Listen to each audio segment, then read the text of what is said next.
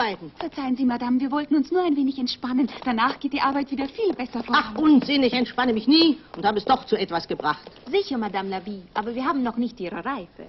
Überreife. Wir sind ja noch so unerfahren. Und so jung. Nun, Jugend ist ein Fehler, der mit jedem Tag geringer wird. Wo ist übrigens Jeanne? Bei der Herzogin von Gramont, die Hüte abliefern. Das war vor vier Stunden. Sie müsste doch längst zurück sein. Na, die kann was erleben. Die wird sich... Der Marquis de Brissac kommt, lächelt. Er liebt lächelnde Gesichter. Und nicht nur die Gesichter. Oh, Herr Marquis. Bonjour, Madame. Bonjour, bonjour, meine reizenden Damen. Bonjour, Herr Marquis. Was darf es heute sein, Herr Marquis? Ich hätte gern ein hübsches äh, Hütchen, Madame. Etwas ganz besonders Feines. Das Vornehmste, was Sie haben. Für eine vornehme Dame. Ja, ja, ich verstehe. Margot?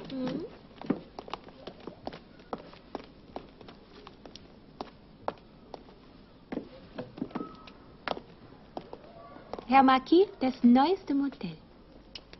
Entzückend. Weich wie Sand. Wie heißen Sie, mein Kind? Margot. Ein süßer Name für ein süßes Mädchen. Sie wären wert, in Gold gefasst zu werden. Oh, bitte sehr, Herr Marquis. Fassen Sie. Die nehme ich. Den nehme ich. Man schicke mir dieses Mädchen durch dieses Hütchen. Ich meine, man schicke mir dieses Hütchen durch dieses Mädchen. Meine liebe kleine Demoiselle Margot. Ich glaube, dass es mir eine angenehme Beschäftigung wäre, Ihr Leben vergolden zu dürfen. Geben Sie mir heute Abend Gelegenheit dazu, damit zu beginnen. Bitte sehr, Herr Marquis. Das heißt, wenn ich etwas Gutes zu essen bekomme. Sie werden, mein Kind. Sie werden. Und bringen Sie Ihre entzückenden Freundinnen mit, vorausgesetzt, dass diese damit einverstanden sind. Aber gerne komme hier. Reizend, reizend, meine Damen. Und wann darf ich Sie abholen? Um 6 Uhr haben wir Feierabend. Also dann um sechs.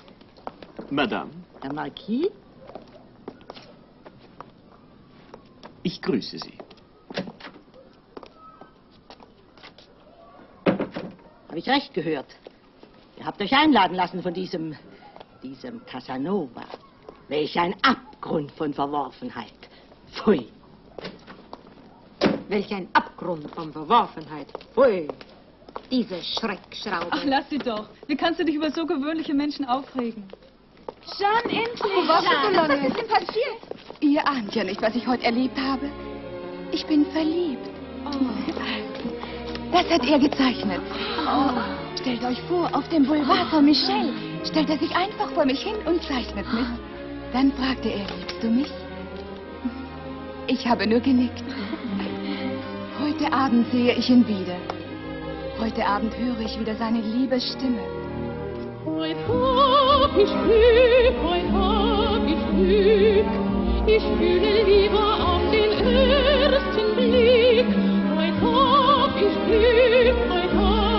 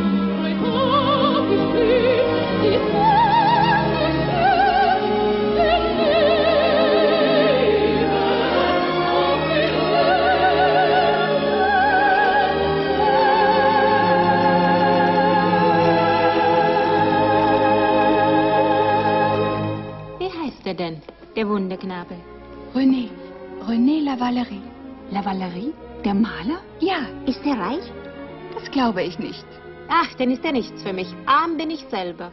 Ich fühle mich zu höherem geboren. Ich gehe zum Theater.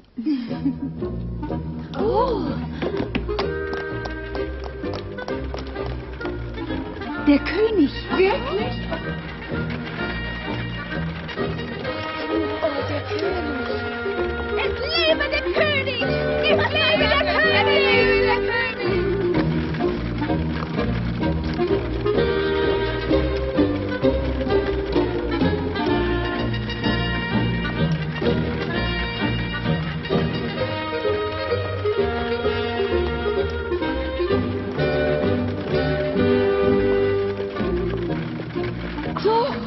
Ein Zufall, Schan. Deine Rose ist dem König auf die Hand gefallen. Du, das hat etwas zu bedeuten. Unsinn, was kann das schon bedeuten? Mein König heißt René. Der König hat darauf gesehen, er hat mir zugewinkt. Ein Augenblick, den ich nie vergessen werde. Da bist du ja schon. Was hat die Herzogin von Grammont gesagt? Haben dir die Hüte gefallen? Madame, ich habe... Was? Du hast doch die Hüte bei der Herzogin abgeliefert. Madame, ich wollte, aber Was aber? Eben als ich wollte, da war er weg. Wer? Der Karton mit den Hüten. Was? Du willst doch nicht etwa sagen, dass die Sie Hüte... sind gestohlen worden. Das ist ja unerhört. Ich hatte die Hüte der Herzogin von Grammont für heute fest versprochen. Weißt du, was du da angerichtet hast? Die Herzogin von Grammont, die Schwester unseres Ministerpräsidenten, hat mich der Ehre gewürdigt, Hüte bei mir zu bestellen. Und Unglückswurm lässt sie da einfach stehen. Madame! Ja, man reißt sie eben um ihre Hüte, Madame. Ich kann mir schon denken, was geschehen ist. Ein Mann steckt dahinter. Er hat dir den Kopf verdreht und da hast du nur noch Augen für ihn gehabt. Oh, Männer! Diese Wurzel allen Übels. Lacht nicht! Ihr könnt gehen. Feierabend. Halt! Du bleibst natürlich hier und nähst neue Hüte für die Herzogin. Ja, und aber... wenn es die ganze Nacht dauert. So eine Gemeinheit. Und jetzt wird dein René vergeblich auf dich warten. Arme Jean. Ich bleibe bei dir und helfe dir. Nein, danke, Lucille. Ich weiß mir schon selber zu helfen. Geht nur. Psst.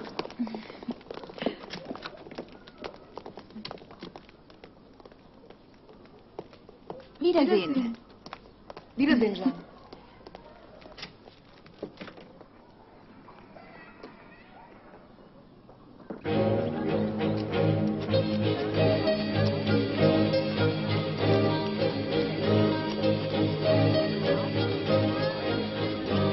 Meinen also auch, mein lieber Dubarry, es kommt darauf an, auf welche Frau man seine Zukunft aufbaut. Genau. Es ist wie bei einem Pferderennen. Man muss immer auf das siegreiche Pferd setzen. Fabelhafter Vergleich. Ich setze auf die Herzogin von Grammont. Sie wird die neue Favoritin des Königs werden. Kaum. Aber sie ist hübsch und gescheit. Und sie hat die Unterstützung Choiseuls, ihres Bruders, des allmächtigen Ministerpräsidenten. Jorsel wird eine Enttäuschung erleben. Unterschätzen Sie nicht seine Ausdauer. Er weiß genau, worum es für ihn geht. Wenn es ihm gelingt, seine Schwester mit dem König zu verbinden, ist seine Position unerschütterlich. Und das wünscht keiner von uns. Natürlich nicht. Aber ähm, wie wollen Sie gegen den allmächtigen Choiseul vorgehen? Man müsste eine Frau finden, die den König beherrscht, weil er sie wirklich liebt. Der König und Lieben? Solch eine Frau gibt es nicht. Wer weiß. Aber lassen wir lieber für heute die Politik. Äh, sagten Sie nicht, äh, Brissac käme hierher? Ja, mit reizenden Mädchen aus dem Salon La Vie. lassen wir uns überraschen. ja. Übrigens, äh, Sie kennen doch Lavalerie, den Maler. Ja, flüchtig. Er hat mir gesagt, er hätte ein bezauberndes Mädchen entdeckt. Ein Geschöpf zum Verlieben. Lavalerie sucht sich nur schöne Modelle. Ich aber suche eine kluge Frau. Schöne Frauen sind selten klug. Glücklicherweise. Bedauerlicherweise, mein Lieber, aber davon verstehen Sie ja nichts. Sie suchen nur die Liebe. Ja, und Sie? Ich? Das Glück. Pardon. Mademoiselle? Ja. Darf ich?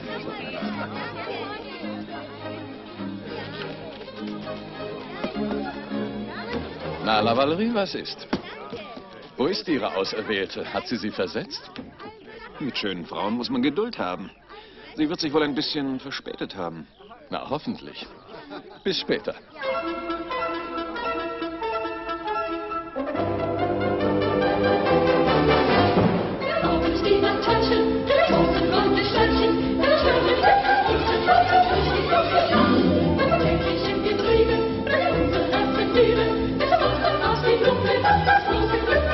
Stets verliebt, stets verliebt, singt die Mädels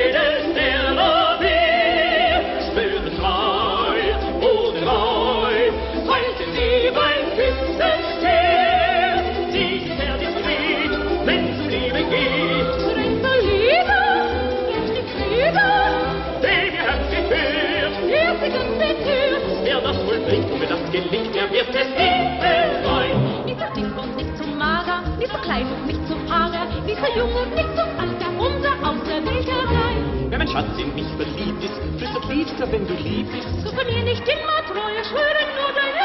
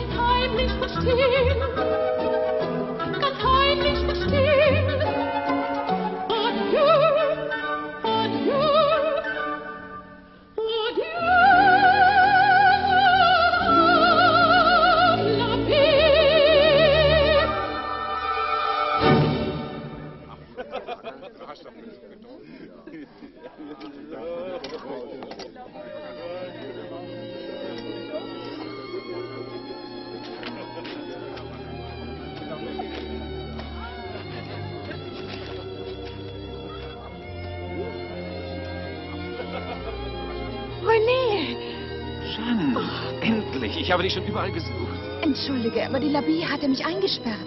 Warum denn? Wegen der gestohlenen Hüte. Ich sollte heute Nacht neu anfertigen. Aber ich bin durchgebrannt. Ich bin so froh, dass du gekommen bist. Ich fürchte, nach dem Streich, den ich hier gespielt habe, wird sie mich aus dem Haus jagen. Ach, sei still. Denk nicht daran. Jetzt bist du bei mir.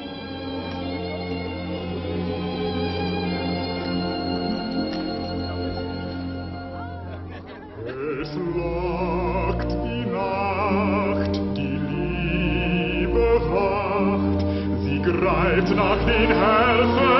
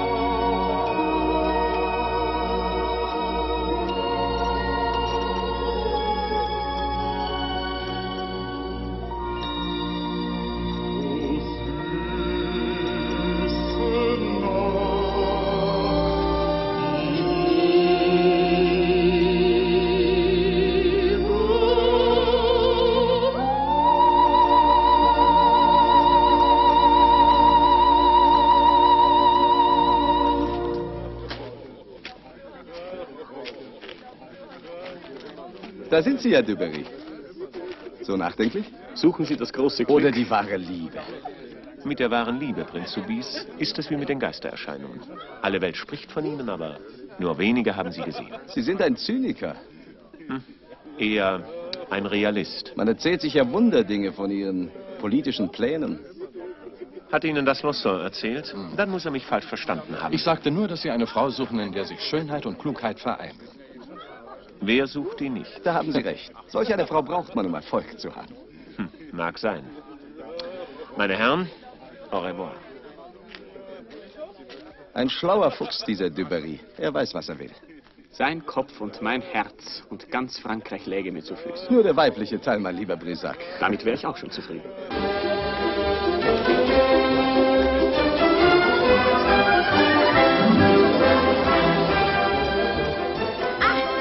Du Ausreißer. Ich denke, wir wollen einen vergnügten Abend haben. Ja, seien wir vergnügt. Und verliebt! Wie schön ist alles, seit ich dich gefunden.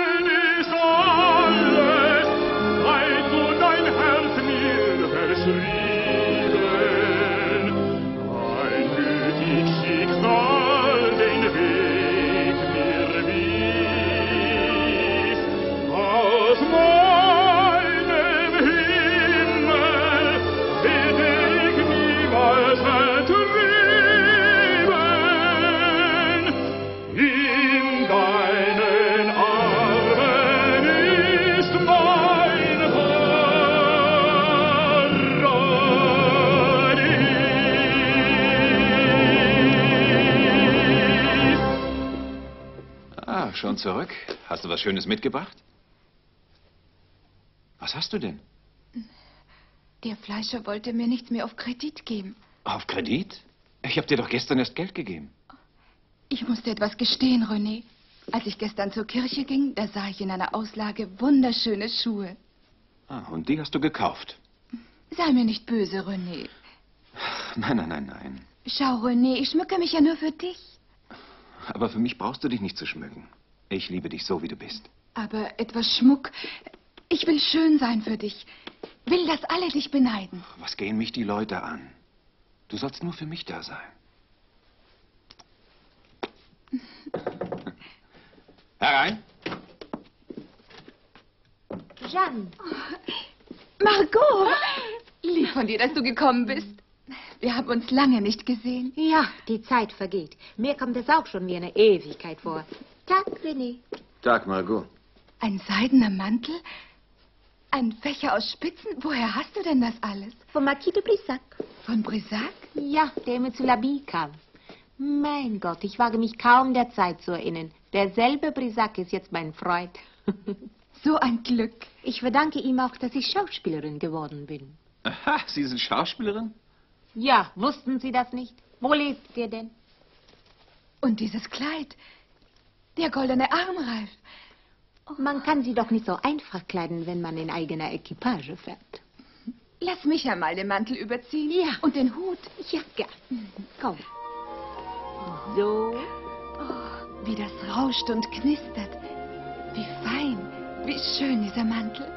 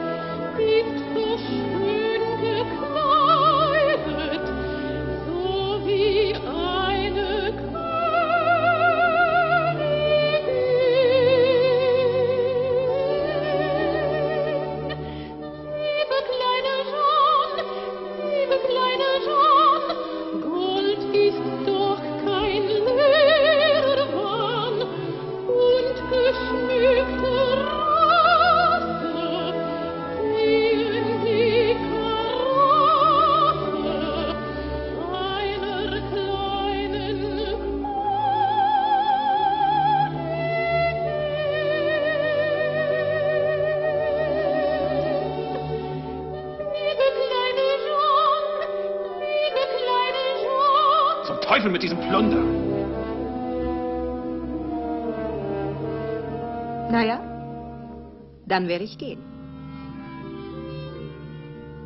Wenn du mich brauchst, dann bin ich immer für dich da.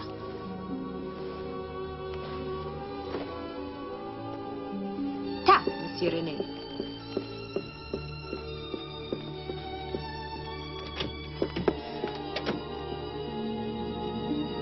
Verzeih, Jeanne, ich war zu heftig. Aber ich kann nicht verstehen, warum dein Herz so sehr an solchem Tand hängt. Unser Leben ist doch viel wichtiger und viel wertvoller als alles andere.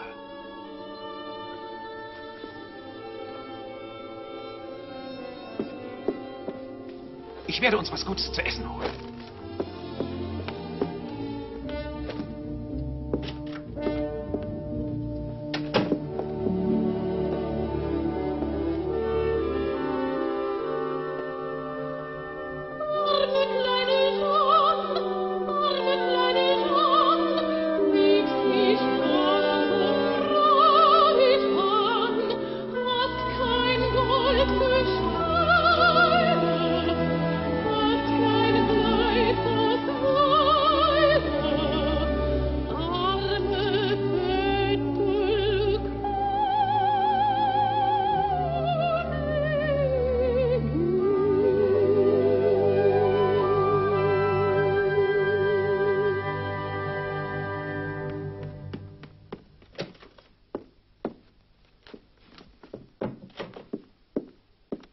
Ist es erlaubt einzutreten?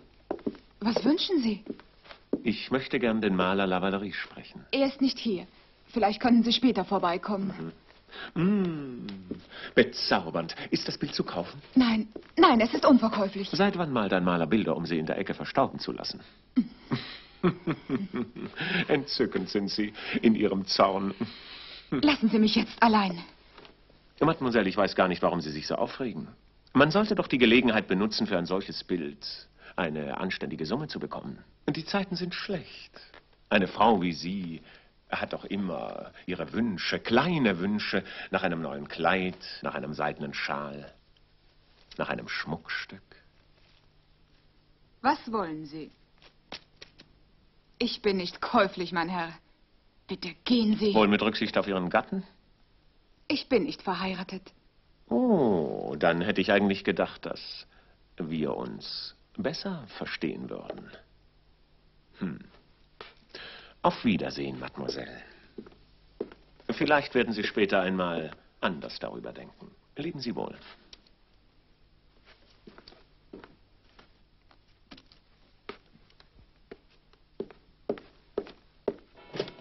Oh, Verzeihung. Ich hatte vergessen, meinen Namen zu nennen.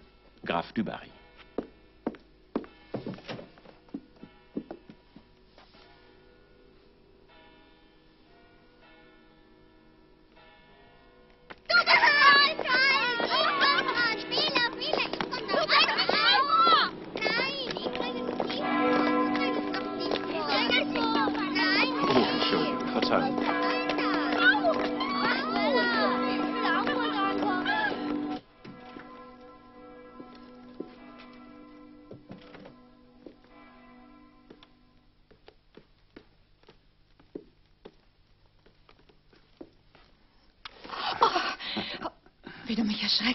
Schau, was ich dir mitgebracht habe. Das wird ein Festessen.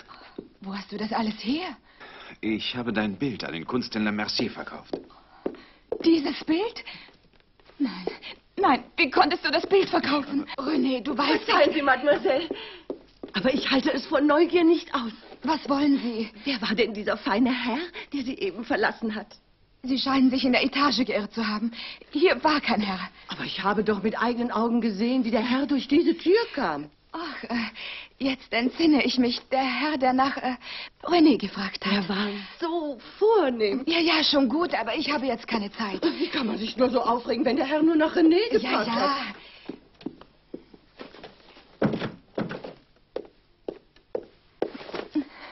Wer war bei dir? Lass mich los. Wer war bei dir? Du tust mir weh. Du hast es doch gehört. Ein Herr hat nach dir gefragt. Wer war's? Antworte. Graf Dubarry. Und? Was wollte er? dieses Bild kaufen. Aber ich habe es nicht hergegeben. Ich nicht. So beruhige dich doch. Es ist doch alles gar nicht so schlimm. Doch es ist schlimm. Sehr schlimm.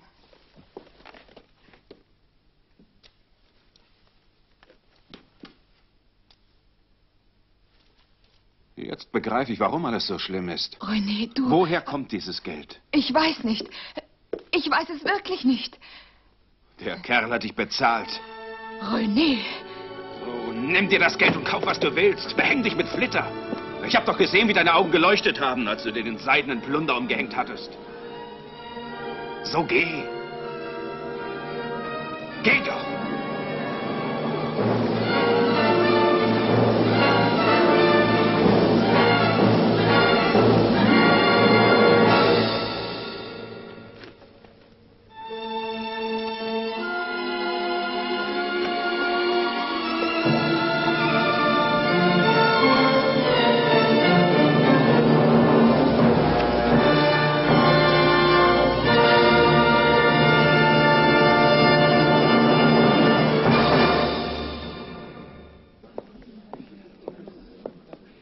Bleibt die große Überraschung, Madame Verrières, die Sie uns für heute versprochen haben? Nur noch wenige Minuten Geduld. Wer ist es denn?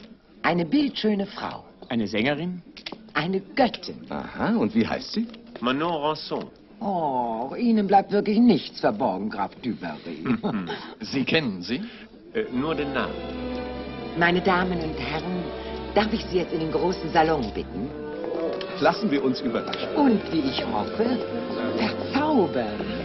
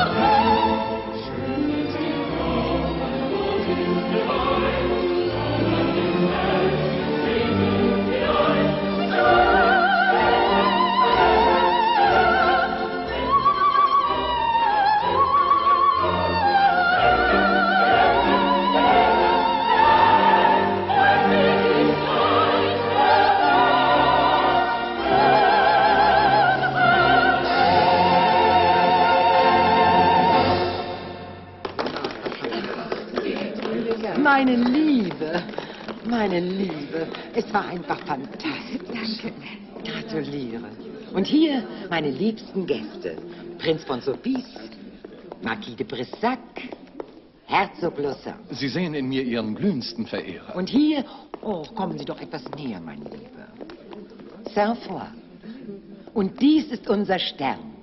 Manon Rançon. Jeanne, ich trinke auf Ihr Wohl. Schönste Manon Rançon. Und ich trinke auf Ihre Schönheit, Madame. Aber meine Herren, seien Sie sparsamer mit Komplimenten. Ich könnte Sie ernst nehmen. Die ganze Welt wird Ihnen zu Füßen liegen. Wo habe ich doch diese Frau schon gesehen? Im Salon des Kunsthändlers Mercier. Ach ja, richtig. Das Bild, von dem ganz Paris spricht. Ach, der Kunsthändler Mercier hat jetzt das Bild? Gewiss. Kennen Sie es? Ich habe es früher schon mal gesehen, aber das wird Sie kaum interessieren. Oh, aber sehr. Aber mich interessiert das Bild nicht mehr. Nein, danke. Ich trinke nicht mehr. Aber warum sind Sie so grausam, Manon? Sie müssen meine Liebe doch fühlen. Liebe. Was hätte ich schon von Ihrer Liebe? Sie schlagen etwas Großartiges aus. Ich biete Ihnen ein herrliches Leben. Equipagen, Dienerschaft, mein ganzes Vermögen steht zu Ihrer Verfügung. Was man mit Geld kaufen kann, ist nicht viel wert. Oh, sagen Sie das nicht. Hier sind 50.000 Franken. Nehmen Sie. Als Zeichen meiner Verehrung. Ist das alles? Was wollen Sie noch mehr? Befehlen Sie. Glück, mein Lieber. Etwas Glück. Und das kann ich mir mit Ihrem Geld nicht kaufen. Gut. Versuchen wir das Glück im Spiel. Verfügen Sie über mein Geld. Das Glück im Spiel? Gut. Meine Herren, ein Spielchen? Wer hält mit? Versuchen wir das Glück. Kommen Sie, meine Herren.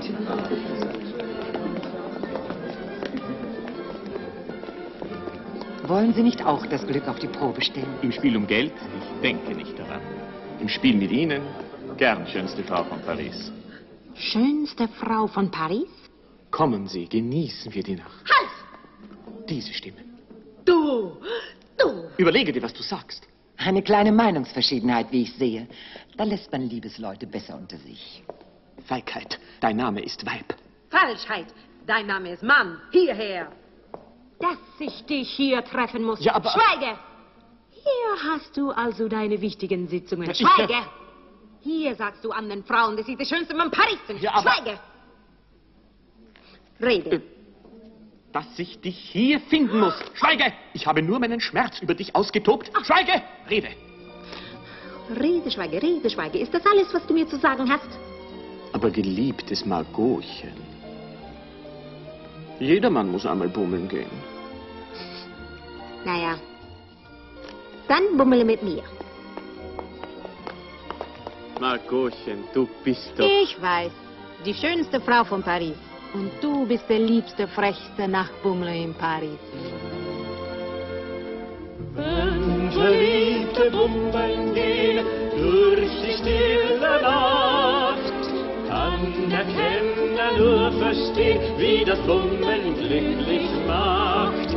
Jede Hemmung rasch verfliegt, wenn man sich bei Regenpfützen lediglich, um sich zu stützen, selig in den Armen liegt. Hier und dort schreit eine Katze und der Mond wirft eine Fratze.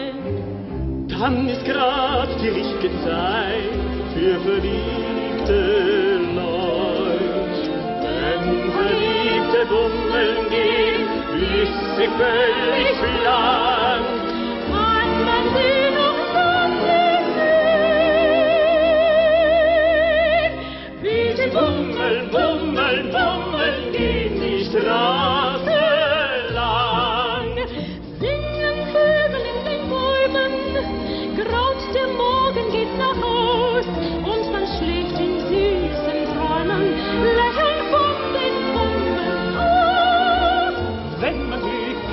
Erwacht, noch im Ohr verliebte Lieder, ja, da freut man sich schon wieder auf die nächste Bummelnacht. Wenn Verliebte bummeln gehen durch die stille Nacht, kann der Kenner nur verstehen, wie das Bummeln glücklich macht. Jede Hemmung rasch verfliegt, wenn man sich bei Regenpfützen lediglich, um sich zu stützen, selig in den Armen liegt. Hier und dort schreit eine Katze und der Mond wirft eine Fratze. Dann ist grad die richtige Zeit für verliebte Leute. Wenn Verliebte bummeln gehen, ist sie völlig blank.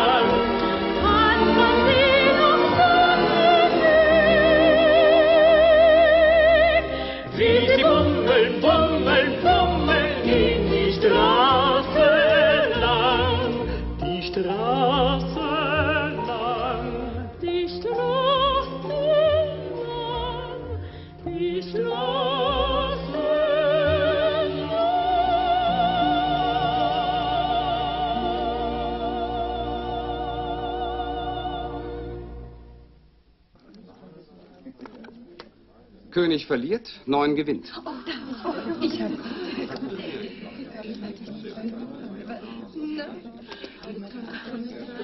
Das letzte Geld.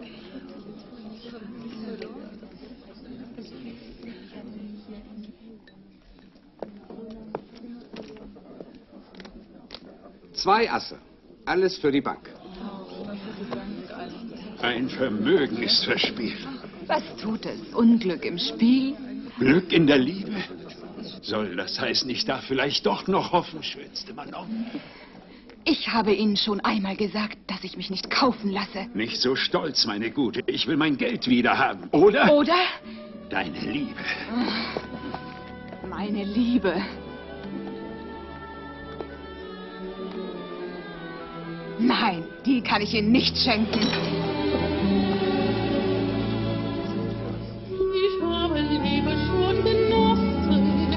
Genossen, ich kenn das Glück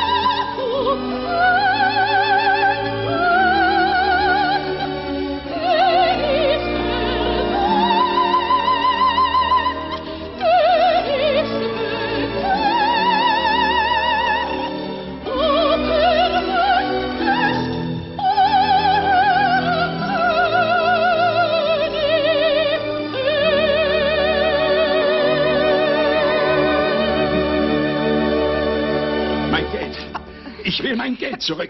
Lassen Sie mich los! Sie haben es gerade nötig. Spielen Sie doch nicht die Beleidigte. Sie, Sie... Schweigen Sie!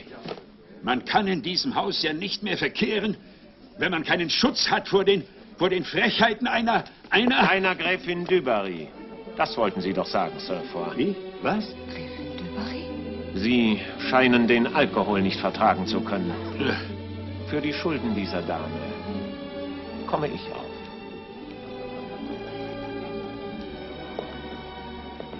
Jeanne, kommen Sie.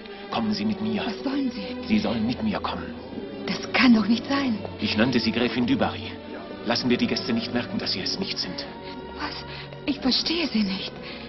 Ich liebe dich.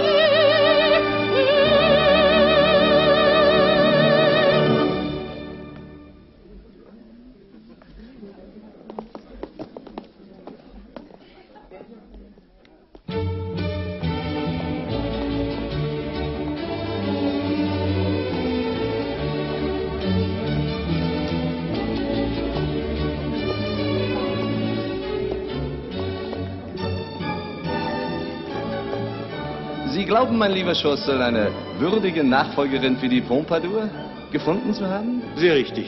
Und ich bin überzeugt, dass der König bei der Wahl der Favoritin meinem Rat folgen wird. Gestatten Sie eine offene Frage. Ich bitte darum. Fiel die Wahl auf Ihre Schwester, die Herzogin von Grammont? Weshalb heute verheimlicht in Westmorgen ganz Paris weiß. Jawohl, es ist die Herzogin von Grammont. Aha. Aber Ihre politischen Gegner werden nicht untätig bleiben. Ich fürchte sie nicht.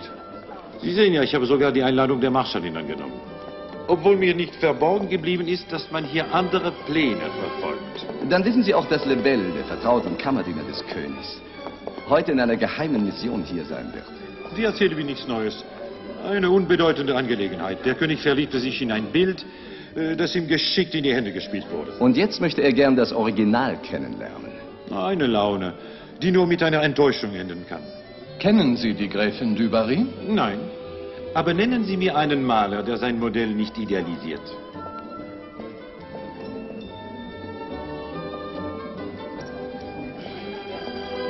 Nun, Herzog, wie gefällt Ihnen mein Fest? Ausgezeichnet, Marschallin. Ich fühle mich in Ihrem Hause immer wohl. Sehr liebenswürdig. Nur schade, dass die Herzogin von Grammont absagen muss. Was? Ja, sie leidet an starker Nervosität. Äh, Sie verzeihen, wenn ich diesen angenehmen Kreis schon verlassen muss. Ich habe dem König heute noch einen wichtigen Vortrag zu halten. Das bedauere ich außerordentlich. Das Bedauern ist ganz auf meiner Seite.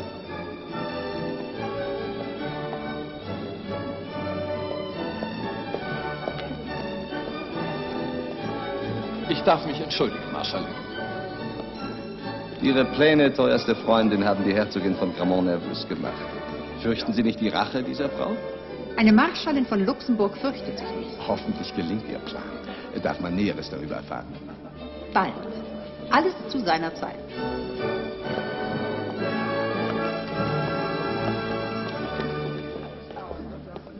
Welch eine Freude, verehrteste Gräfin, Sie heute hier zu sehen. Die Freude ist ganz auf meiner Seite. Sie sind die Königin des Festes.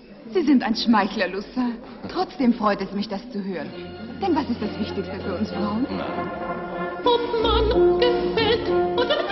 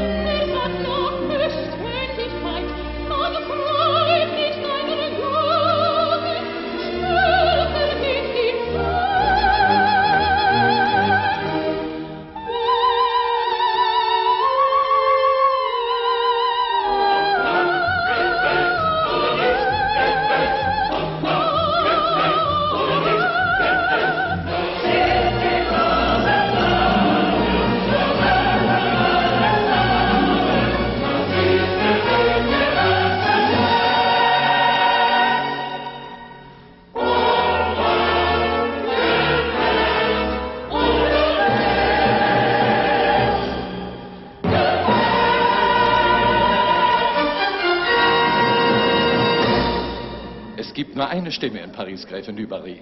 Sie gefallen. Margot, dass du mich nicht blamierst. Du bist meine Cousine. Hast du das verstanden? Ja, ich weiß schon.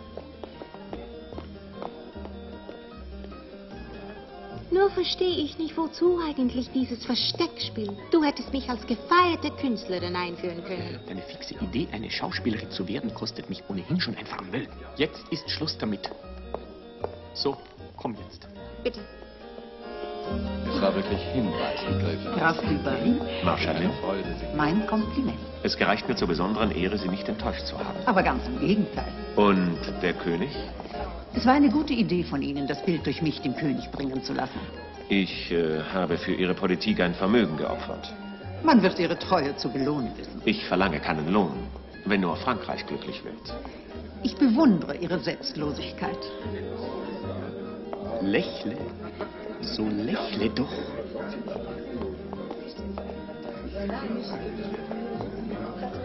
Ah, mein lieber Brissac. Marschallin, gestatten Sie mir, dass ich Ihnen meine Cousine Margot vorstellen darf. Ich freue mich herzlich. Ihnen sollte ich eigentlich böse sein, mein lieber Marquis, dass Sie uns Ihr reizendes Cousinchen so lange vorenthalten haben. Ja, mein reizendes Cousinchen ist noch nicht so lange mein reizendes Cousinchen. Ich meine, meine Cousine ist noch nicht so lange in Paris. Ich verstehe, verstehe. Ah, da ist ja unsere liebe Gräfin. Darf ich bekannt machen? Ich glaube, liebe Gräfin, wir kennen einander schon. Ich erinnere mich, liebe Comtesse, und zwar sehr gern. Ich auch, Gräfin. Ich bitte Sie, mit uns einen Imbiss einzunehmen. Sehr gern. Was gibt es denn? Margot, schweige. Man wird doch fragen dürfen. Oh ja, es ist das Vorrecht der Jugend, alles fragen zu dürfen. Nicht wahr? Sie erinnern sich auch noch dunkel Ihrer Jugendzeit. Sogar mit dem größten Vergnügen. Ihren Armloser? Gnädigste Gräfin? Prinz? Es ist ja wieder unerhört, wie du mich blamiert hast. Was habe ich denn schon wieder gesagt? Man macht keine Anspielungen auf das Alter einer Dame. Man fragt doch nicht, was es zu essen gibt. Wenn ich doch Hunger habe. Den hast du ja dauernd. Schrei mich nicht so an. Ich schrei doch gar nicht. Nichts passt dir an mir. Warum machst du mir dauernd Vorwürfe? Weil ich dich liebe! Ich verbitte mir. Was hast du gesagt? Ich liebe dich. Du liebst mich? Ja. Ja, ich liebe dich auch.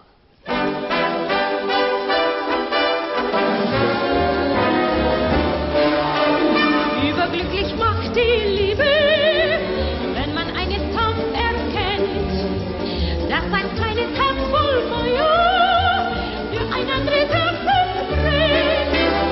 Reisen wir durchs Liebesland, Hand in Hand zu zweit. Knüpfen wir das Liebesband, es wird höchste Zeit.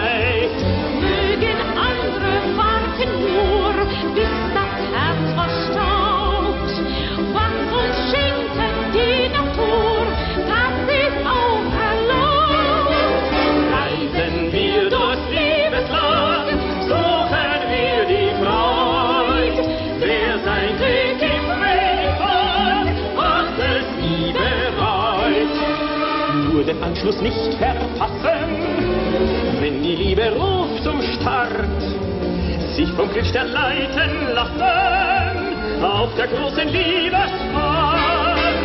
Reisen wir durchs Liebesland, Hand in Hand zu zweit.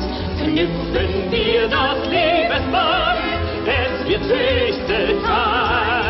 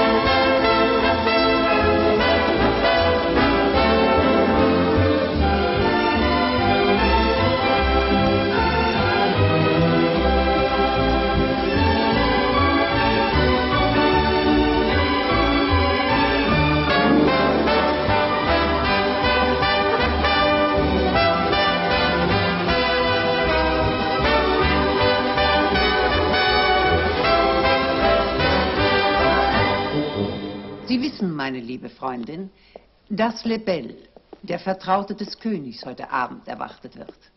Ich habe davon gehört. Ahnen Sie nicht, dass er ihretwegen hier sein wird?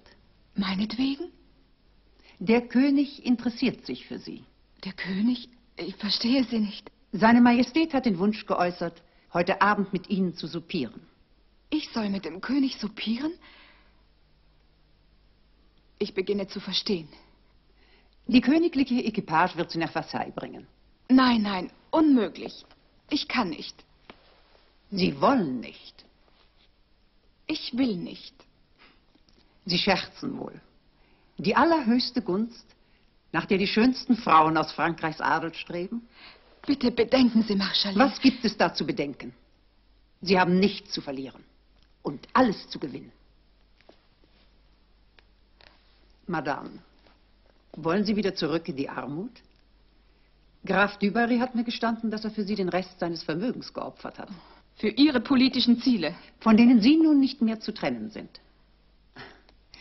Ich weiß, Madame, Sie sind sehr klug. Überlegen Sie gut. Wenn Lebel erscheint, hängt von Ihrer Entscheidung das Schicksal Frankreichs ab.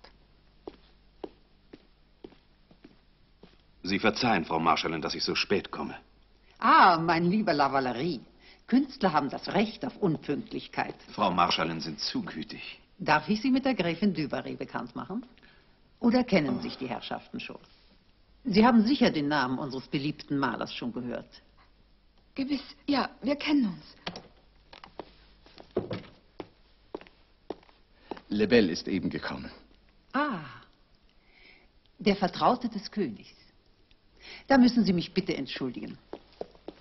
La Valerie wird Ihnen sicher gern Gesellschaft leisten. Kommen Sie, mein Prinz. Madame. René. Äh, Jeanne. Jeanne. Dass ich dich wieder in meinen Armen halten darf. Dass alles so kommen musste. Warum bist du denn nicht zurückgekommen? Ich war zu stolz. Und als ich kommen wollte, da war es zu spät. Es ist nie zu spät, wenn es um unsere Liebe geht.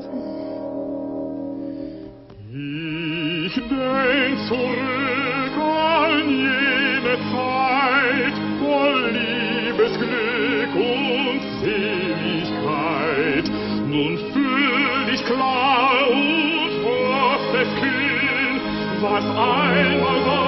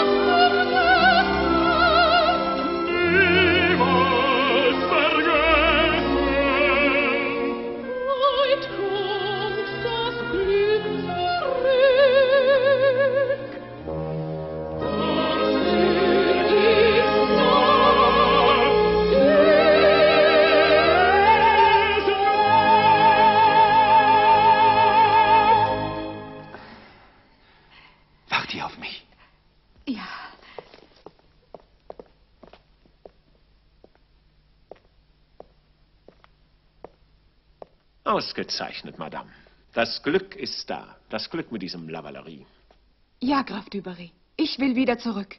Will nicht mehr sein als die Geliebte eines Malers. Als Jeanne Bécu. Sehr gut, Madame. Und wieder wollen Sie ihm Modell stehen. Wieder soll er Ihr Bild auf Umwegen geschickt hohen Persönlichkeiten in die Hände spielen, um sein Glück zu machen. Hohen Persönlichkeiten? Wen meinen Sie? Ihr Bild hat der König. Das ist eine Lüge. Das kann doch nicht wahr sein. Monsieur Lebel hat es eben zu unser aller Verwunderung erzählt. Es tut mir leid. Für mich. Aber ihr Schicksal hat sie für Großes bestimmt.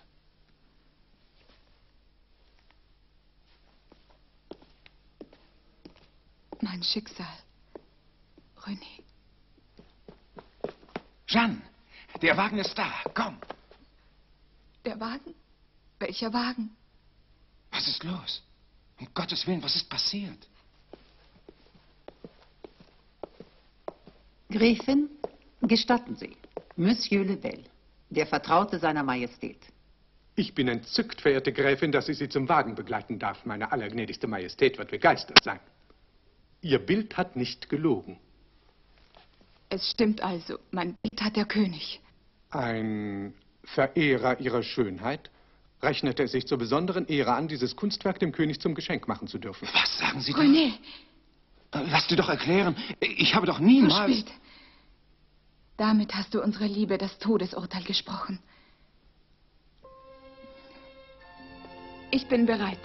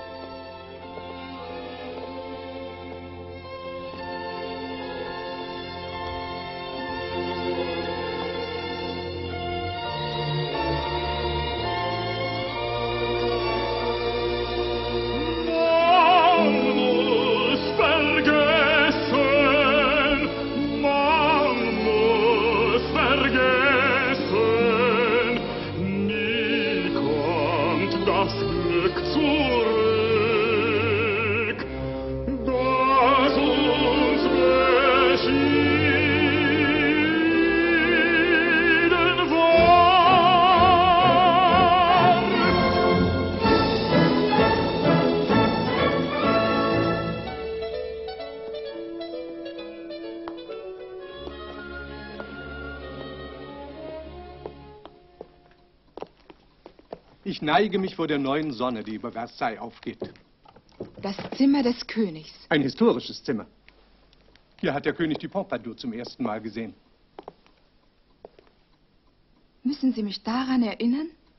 Sie werden mir gewiss dankbar sein, wenn ich Ihnen einiges sage, was in der nächsten Stunde für Sie von Wert sein könnte. Ich kenne meine Aufgabe und bin bereit, sie zu erfüllen. Sie scheinen dabei nicht glücklich zu sein, Gräfin Dubarry. Darf ich Ihnen sagen, dass der König keine Sentimentalitäten liebt? Dass er gern Frohsinn und Heiterkeit um sich sieht? In diesem Punkt stimme ich mit dem König überein. Wenn seine Majestät ungeduldig wird und mit den Fingern auf den Tisch trommelt, etwa so, so bedeutet das, Majestät wünscht das angeschlagene Thema nicht weiter zu verfolgen. Und dann noch etwas. Das Wichtigste. Der König wünscht keine Abschiedsszene. Ich meine, es ist angezeigt, ich darf ganz offen mit Ihnen reden, falls der König von Ihnen nicht den erwarteten Eindruck hat, so ist es angebracht, dass Sie ganz unauffällig wieder verschwinden. Zu diesem Zweck steht am linken Hauptportal ein Wagen bereit, um Sie in Ihre Wohnung zu bringen. Ich verstehe. So. Und jetzt werde ich Sie seine Majestät melden.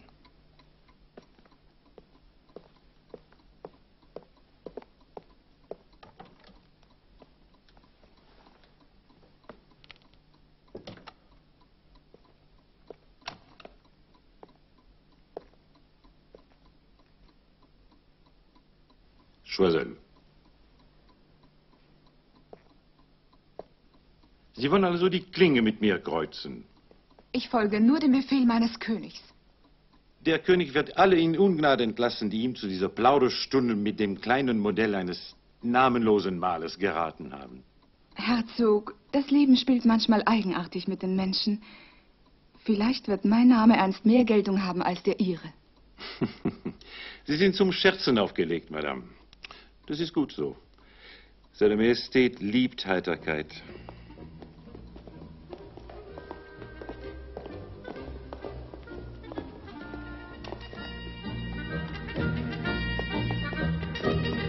Seine Majestät der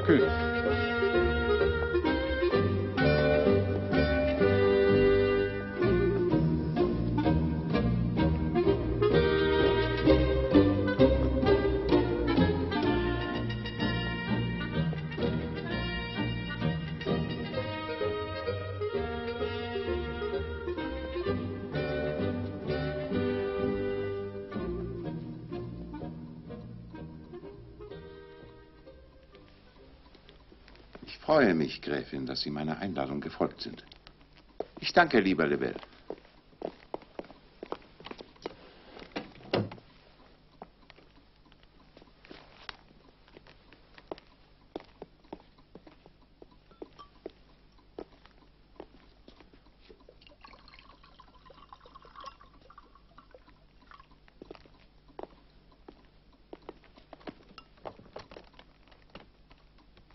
Madame, Sire,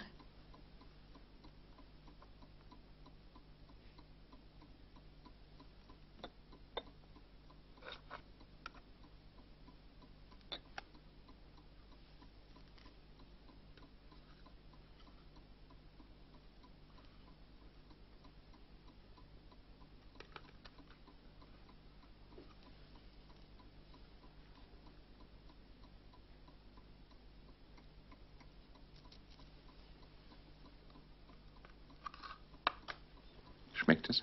Mhm. Und nun erzählen Sie etwas Schönes, etwas Heiteres aus Ihrem Leben. Das Leben ist ernst und hässlich. Wie soll ich da etwas Schönes und Heiteres erzählen? Einer Frau wie Ihnen muss doch die Welt zu Füßen liegen. Da müsste das ganze Leben ein herrlicher, ein heiterer Traum von Glück sein. Traum. Woran denken Sie, Gräfin? Einmal war ich eine arme Modistin. Und jetzt? Jetzt sitzen Sie dem König von Frankreich gegenüber. Darf ich etwas fragen, Majestät? Aber bitte, Werden Sie mir auch nicht böse sein? wie könnte ich? Wie viele Frauen mögen schon hier gesessen haben, die am nächsten Morgen mit einer Equipage, die vor dem linken Hauptportal wartete, wieder nach Hause gebracht wurden?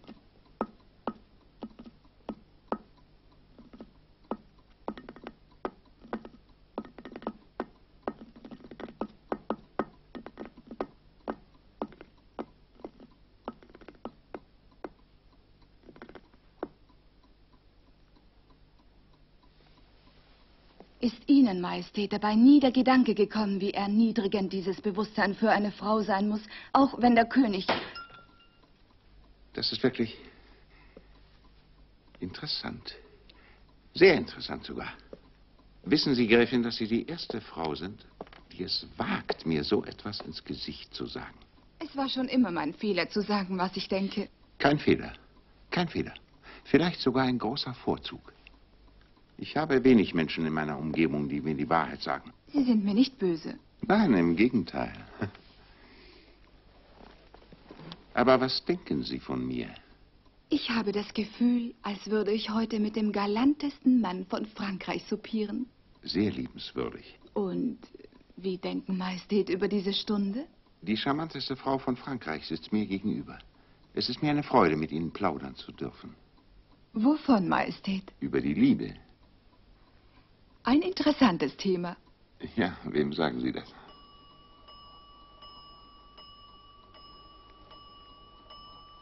Die Uhr mahnt mich, Majestät. Es ist spät. Es ist Zeit, nach Hause zu gehen. Was sagen Sie? Jetzt sollte ich Sie gehen lassen. Jetzt. Jeanne, Sie müssen mein sein. Eine von vielen. Nicht eine von vielen, die einzige sollen Sie sein. Die eine, die nie mehr von mir geht, die ich liebe. Und was wird der Herzog von Choiseul dazu sagen? Choiseul? Kennen Sie denn Choiseul? Ich habe ihn eben hier kennengelernt. Choiseul leitet die Politik meines Landes. Auf die Entschließungen meines Herzens haben meine Minister nicht den geringsten Einfluss.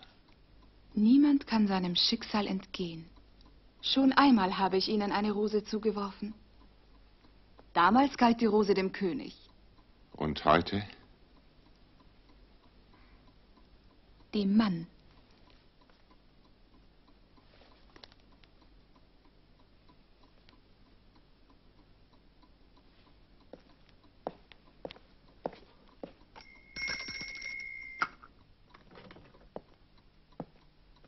Majestät befehlen? Ist der Herzog von Choiseul noch im Schloss? Jawohl, Majestät. Ich lasse ihn zu mir bitten. Sehr wohl, Majestät.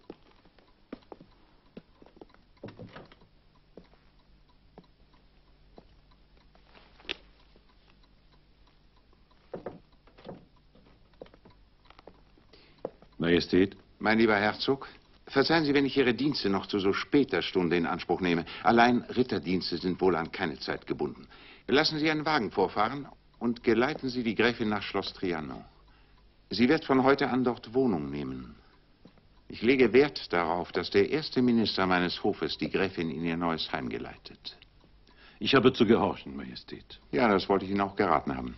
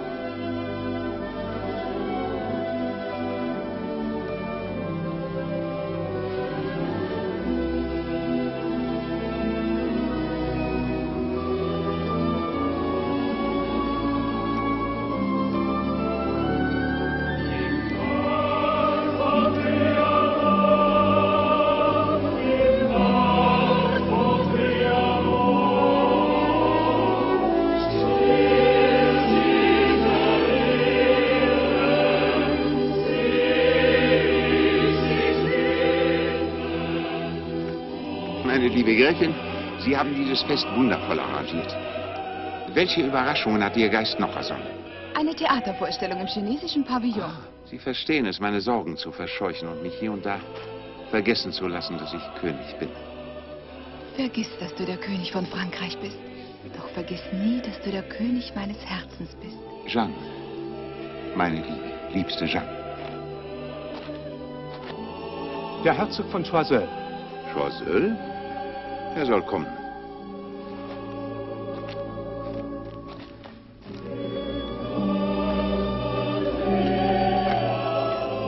Majestät, Gräfin. So spät, mein lieber Choiseul? Wenn der Herzog geahnt hätte, wie sehr wir ihn vermissen, wäre er sicher früher gekommen. Zur gütig, Gräfin. Allein meine Zeit bestimmen die Staatsgeschäfte. In jeder Beziehung? In jeder Beziehung, Gräfin. Ich höre, es gab gestern einen bewegten Ministerrat. Allerdings. Ich habe Eurer Majestät eine wichtige Mitteilung zu machen. Ja? Ah, da möchte ich nicht stören. Meine Damen und Herren, bitte folgen Sie mir. Gräfin?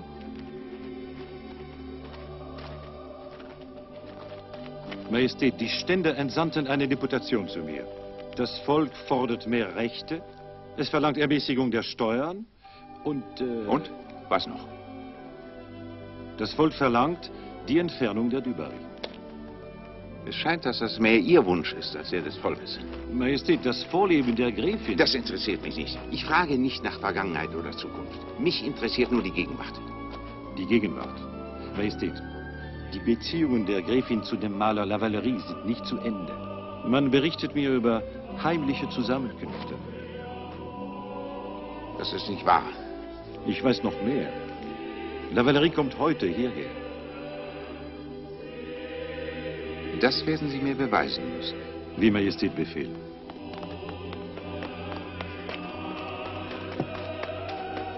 Warst du bei René? Kommt er her? Ja. Wie hat er meine Einladung aufgenommen? Wie ein Künstler so etwas aufnimmt. Erst sagte er nein, dann hat er furchtbar geschimpft, dann sagte er ja. Vorsicht, der Herzog von Choiseul. Frau Gräfin, bitte entschuldigen Sie mich. Ich muss mich umziehen für die Vorstellung. Geh nur, mein Kind, und mach dich recht schön. Frau Gräfin, Ich preise den Zufall, der es mir erlaubt, Sie unter vier Augen zu sprechen. Ich plaudere auch gern mit Ihnen. Was haben Sie mir Neues zu sagen? Nichts Gutes. Die Stimmung ist gegen Sie. Sowohl im Volk als auch hier bei Hofe. Und der König? Darüber steht mir kein Urteil zu. Sie sind sehr vorsichtig geworden. Ihr Wunsch wäre es also, dass ich freiwillig zurücktrete. Ich hielt es für gut. Natürlich nur im Staatsinteresse, dass er bekanntlich ihr ganzes Tun und Lassen bestimmt. Verehrte Gräfin, Frankreich hat eine Montespan, eine Maintenon, ja sogar eine Pompadour überlebt. Weshalb sollte es nicht auch eine Dubarry aushalten? Herzog, Sie scheinen zu vergessen, dass Sie Gast in meinem Hause sind. Es würde meinen Dienern eine Freude sein, Ihren Wagen vorfahren zu lassen. Sie fühlen sich sehr sicher. Sie weisen meinen Antrag also zurück. Mehr als das. Ich gebe Ihnen den guten Rat, darauf zu achten, dass Ihr ohne dies recht schwankender Ministerstuhl nicht umfällt. Ich würde es sehr bedauern, wenn Sie im Exil an die angenehmen Stunden mit mir zurückdenken müssten.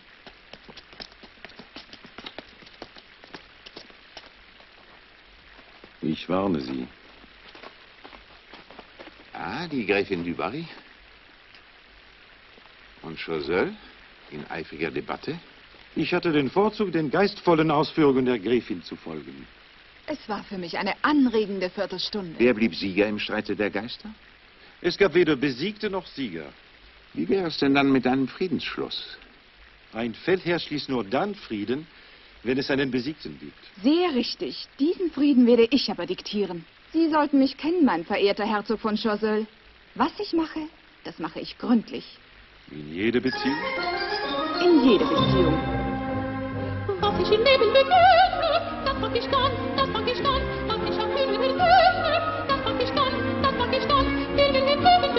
begegnet, denk immer dran, denk immer dran, und mach im Blut auf mich segnet.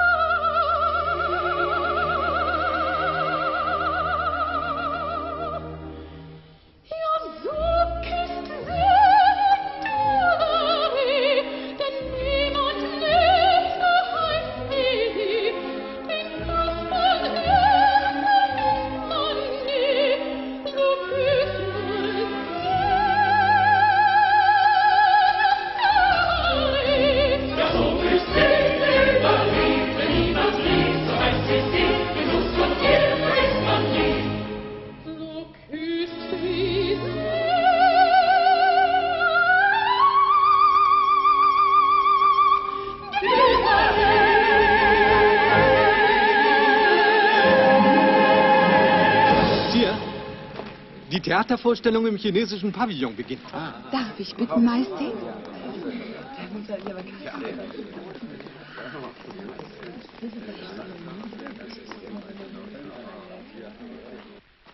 Margot! Ja, was ist denn geschehen? Ja, so weine doch nicht. Lass mich weinen. Weinen ist mein einziges Vergnügen. Das überlebe ich nicht. Ja, was, was ist denn passiert? Diese Blamage. Im letzten Moment hat man mir die Rolle abgenommen. Ein kluger Mann, dieser Direktor. Weil die Leute, weil die Leute meinen traurigen Stellen gelacht haben. Nur so versuch's doch einmal mit den lustigen Stellen. Vielleicht werden sie dann weinen. Überhaupt verbiete ich dir von heute ab Theater zu spielen. Du hast mir gar nichts zu verbieten. Ich suche mir einen anderen Protektor. Auch das verbiete ich dir. Was? Du verbietest? Ja, mit welchem Recht? Mit dem Recht des zukünftigen Gatten. Den letzten Satz noch einmal. Mit dem Recht des zukünftigen Gatten. Du willst mich heiraten? Allerdings, es ist mein letzter Wille. Ich, eine Markise. Eine waschechte Markise. Margot, wirst du mir auch ewig treu sein? Ich war noch jedem Mann, den ich liebte, ewig treu.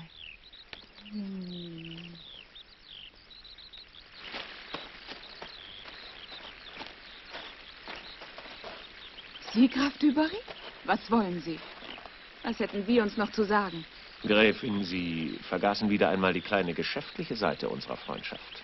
Ich sollte dem König raten, Sie verhaften zu lassen. Sie gebrauchen starke Ausdrücke, Madame. Fühlen Sie nicht, wie viel ich verloren habe? Mein Herz. Ihr Herz? Das ist kalt, immer kalt gewesen. Nur um ihr Glück zu schmieden, habe ich alles geopfert. Mein ganzes Vermögen. Ich weiß, wie beim Pferderennen. Ich bin das Siegerpferd gewesen, auf das Sie alles gesetzt haben. Hat Ihnen das Lausanne erzählt, der dumme Schwätzer? Gehen Sie. Gehen Sie doch. Ich werde mit dem König reden. Ich bleibe ewig Ihr ergebenster Diener, Madame.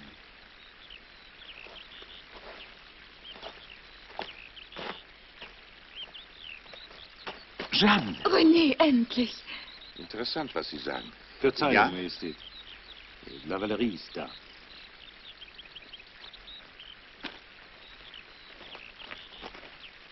Warum hast du mich rufen lassen? Was willst du von mir? René, man, man hat mich belogen. Das Bild. Ich weiß jetzt, dass nicht du es warst, der es damals dem König zugespielt hat. Die Stelle eines Hofmalers ist frei. Der König spricht mit großer Achtung von deiner Kunst. Also ein Almosen. Versteh mich doch nicht falsch. Das mag gut gemeint sein, aber das will ich nicht. Ich habe mir alle Mühe gegeben, dich zu vergessen. Aber ich kann es nicht. Ich liebe dich noch immer. Du hast dir das Glück selbst verscherzt. Ja, aber damals... Damals war es ein Abenteuer, in das man mich hineintrieb. Heute, Was ist heute? Heute liebe ich den König. Das ist nicht wahr. Du liebst nur die Macht. Nein, ich würde ihn auch lieben, wenn er nicht König von Frankreich wäre. Dann leb wohl, Jeanne. Leb wohl, René. Jeanne, Ich liebe dich. Ich bin Euer Majestät treuster Diener und bitte noch ein Wort mit Eurer Majestät allein sprechen zu dürfen. Was wir uns noch zu sagen haben, können alle hören. Lebel? Also gut, dann sollen es Meine alle Damen, hören. Meine Herren,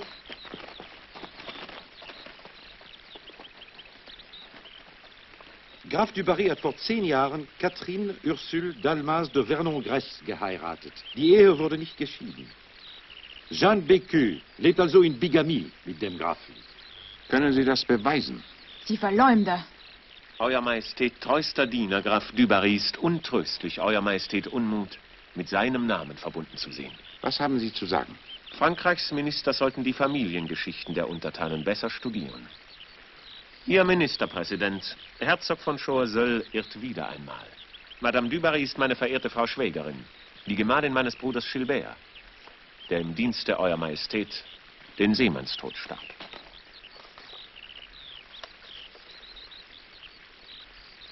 Es stimmt. Die Gräfin war mit Gilbert de Berry verheiratet. Herzog von Choiseul, der Staatsdienst hat Sie leider zu sehr der Verwaltung Ihrer Güter entzogen. Ich wünsche, dass Sie sich fortan nur dem Gedeihen Ihrer Güter widmen und in äh, 24 Stunden dahin abreisen. Verbannung.